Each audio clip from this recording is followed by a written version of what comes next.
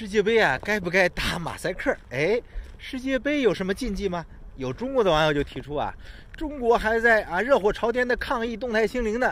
你如果让全国人民看世界杯，看到外国人什么都不讲究，在一块群聚狂呼狂欢啊看球，这是不是会影响我们啊抗击疫情的锐气啊？哎，说的有道理。你看。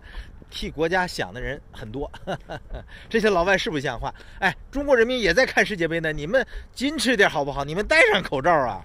这些老外真不像话。